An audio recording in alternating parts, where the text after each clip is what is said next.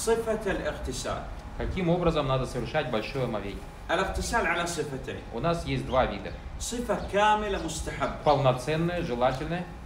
يغسل الفرجين Во-первых, قبل человек- والدبر Для начала человек по- моет свой половой или же задний орган. Начинает с заднего. ينوي بقلبه Потом делает намерение.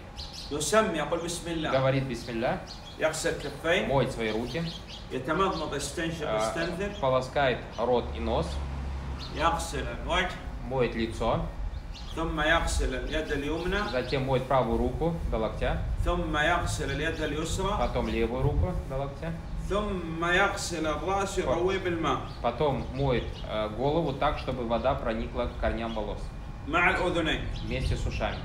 ثم يغسل الشق الأيمن كاملا Потом моет правую сторону полностью, ثم يغسل الشق الأيسر كاملا потом левую полностью. ثم يغسل الرجل اليمنى Потом ثم моет الرجل правую اليسرى ногу, потом моет левую ногу. يخرج بهذا ويصلي И выходит, совершает молитву. لا يحتاج يتوضا Не надо совершать омовение после этого. الصفة الثانية Второй вид, صفة سهلة легкий очень, مختصرة сокращенный.